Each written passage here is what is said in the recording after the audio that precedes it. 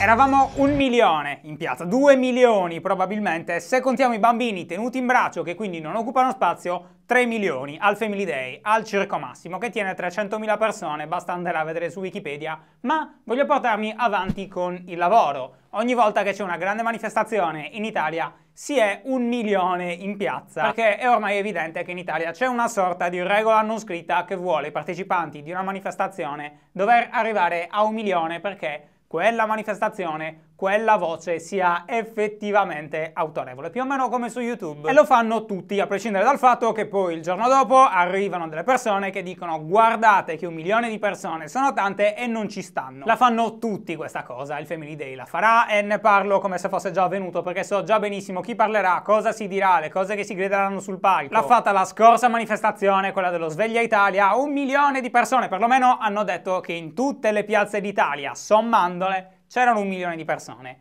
Lo ritengo comunque un dato molto molto improbabile. Perché una manifestazione vada bene è necessario essere in tanti, ma non essere per forza così tanti, altrimenti sembrate quei tizi che vanno in giro a chiedere per un amico, perché io ce l'ho gigante, se effettivamente è vero che le dimensioni non contino e conta come lo si usa. Nel frattempo un sacco di persone hanno trovato il tempo di indignarsi per questa pubblicità di Ikea, giustamente perché so benissimo che se mi dovessi presentare durante il vostro evento nel quale invitate i vostri clienti a baciarsi e mostrare la loro idea di famiglia, probabilmente verrei sommerso dalle radiazioni gay e diventerei anch'io gay. Questo non posso accettarlo. Quindi alcune persone hanno deciso di boicottare l'azienda svedese. Quando dico boicottare intendo scrivere un messaggio arrabbiato su Twitter, essere arrabbiate effettivamente per 12 ore e poi mettere tutto in macchina e andare effettivamente da Ikea. Caro amico, non ci crede nessuno che ti farai la casa dalle Roi Merlin per vendetta. Non è così che funziona, lo sappiamo benissimo, era come il discorso del boicottiamo Barilla per un nanosecondo e poi sì però a me piace veramente la pasta Barilla, io comunque credo che comprerò quella. Ma sarò arrabbiato mentre lo farò, la guarderò con disprezzo e poi la metterò sul nastro per pagare alla cassa. Ma ci sono anche altre persone che hanno portato la politica, ad esempio, e non ci pensa nessuno agli immigrati svedesi che vengono rimbalzati, che è una roba che si legge più o meno come non so niente della Svezia, a parte che stanno facendo questi rimpatri e che Ikea è svedese, quindi unirò queste due cose e blam, ecco il mio tweet impegnato, ma c'è anche chi è contento e l'ho mostrato, che cos'è questo? Questa è una nocciolina, cosa... Ok? La Barbie ha cambiato corpo, oppure non proprio, ma sembra una roba particolarmente importante per molti, quindi trattiamo questa roba qui. Il Time l'ha addirittura definita il cambiamento più grande nella storia della bambola da 57 anni a questa parte. Che è tendenzialmente una roba molto semplice. D'ora in poi la Barbie non avrà la stessa forma che ha avuto per tutti questi anni, non ho idea se sia cambiata nel tempo oppure no, quella sorta di forma che non è esattamente un corpo umano, è più un alieno con la testa di un corpo umano, perché è una bambola. D'ora in poi non è più così, ne hanno fatto uscire altre tre versioni, in modo ipotizzo che le bambine, quando l'acquistano, possano comprare un'idea di loro stesse, perché ipotizzo che l'idea sia questa, rivedersi nel personaggio, che assomigli il più possibile a loro stesse, al loro corpo, senza dover necessariamente imporre il difficilmente raggiungibile per alcune bambine modello del alta 13,40 m, pesa 7,50 kg e, non so, capelli lisci e tutto il resto, visto che ci sono anche delle teste diverse, quindi con i capelli diversi. Alcune persone sono contente, altre sono meno contente. Tra quelle meno contente c'è chi dice che lo fanno solo per soldi, che è un'ottima ovvietà. Caro amico, non avrei mai immaginato che una società che vende bambole cerca di venderti più bambole per avere più soldi.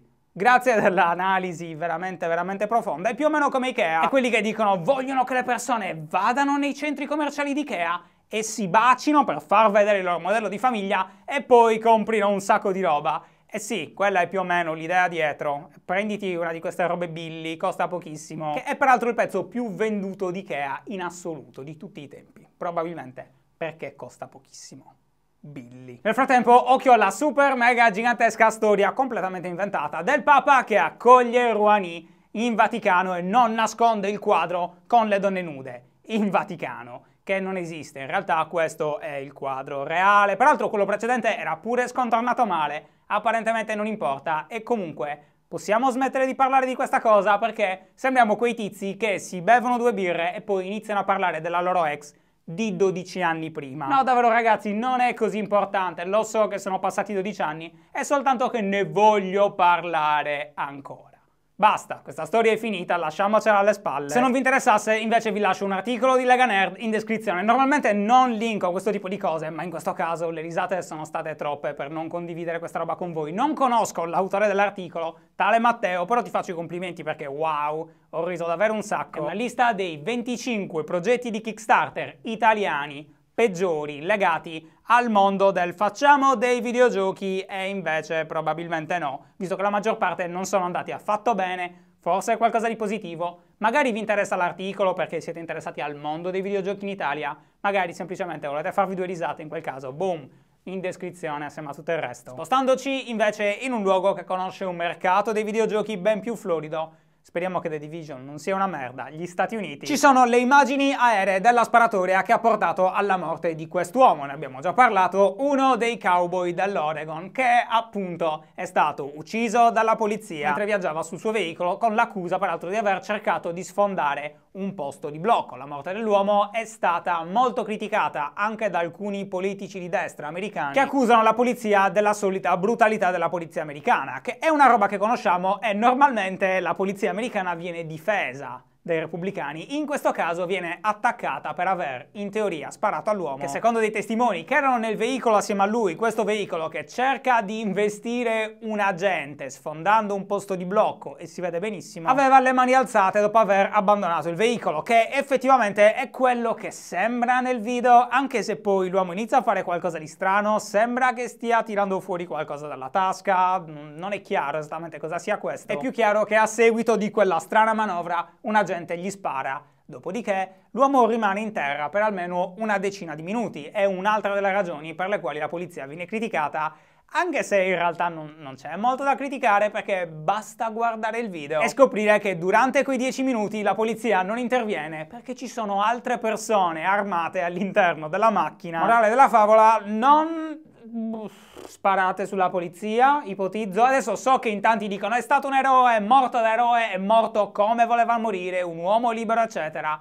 È che semplicemente io non vedo un eroe morto, vedo un morto. Sempre parlando degli Stati Uniti, Google deve un sacco di soldi al fisco italiano. Apparentemente, dopo che già Apple doveva un sacco di soldi al fisco italiano, e ha pagato tendenzialmente. E tutta questa roba la sappiamo semplicemente perché è prassi comune a questo punto. Sfruttassero le regole di commercio all'interno della comunità europea, importantissime, almeno quanto Schengen, quindi la circolazione delle persone, per i loro fini, tendenzialmente pagando le tasse soltanto nelle nazioni dove conveniva pagarle, perché magari erano basse, e invece in quelle come l'Italia, dove la tassazione è più alta, aprire delle sorte di succursali, delle scatole vuote, tipo, che ne so, grande azienda Italia, far confluire i soldi lì e poi spostarli nell'altra azienda più grande e pagare le tasse lì. Questo ovviamente è ingiusto e lo Stato vuole da Google 227 di milioni di euro di tasse per un periodo che va dal 2009 al 2013. Soldi che senz'altro verranno pagati. Li ha pagati Apple sotto le vacanze, quindi molti si sono persi la notizia, ma è andata così pagherà anche Google, perché se non paga poi ci sono le more, aumenti, eccetera, quindi semplicemente darà quei soldi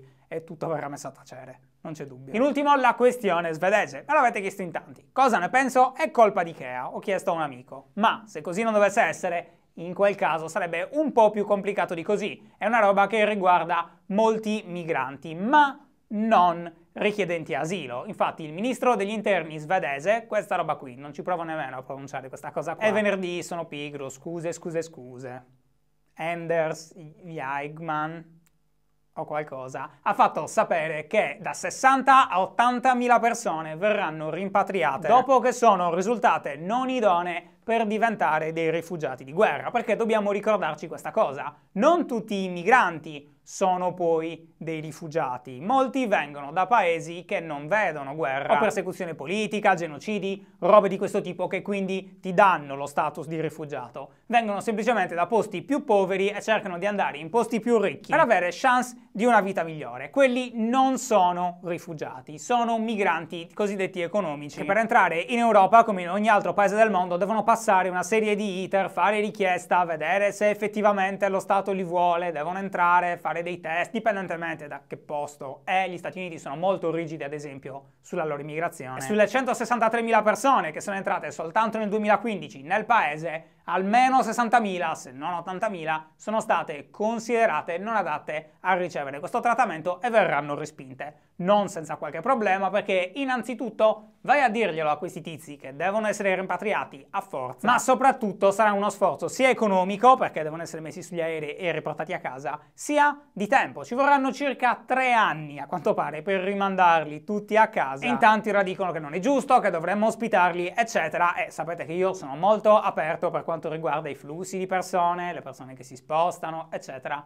Ma in questo caso, e so che è impopolare, sono d'accordo con i rimpatri, semplicemente perché in questo caso non parliamo di profughi di guerra, parliamo di persone che si sono unite ai flussi di profughi per entrare in un paese nel quale normalmente sarebbero potute entrare, secondo però delle regole che sono molto più dure, perché una nazione non può ospitare tutti ovviamente cerca di ospitare momentaneamente le persone che perdono un tetto sulla testa e rischiano di vederci cadere sopra delle bombe. Accogliere le persone è un problema ed è vero, l'immigrazione è qualcosa di positivo, aumenta il PIL, arrivano più lavoratori, veri, sono tutte cose verissime, però va fatta con raziocinio, va fatta con controllo. In genere in questo caso i controlli sono inferiori semplicemente perché è una crisi umanitaria. Per capirci, non stiamo rimandando persone sotto le bombe in Siria è gente che viene da altre parti del mondo. Ma questo è tutto per oggi, grazie per aver guardato, grazie alla nostra regina per oggi che Anna si è fatta questa foto con il mio logo sull'occhio, grazie Anna, foto di Anna e tutto il resto. Un abbraccio,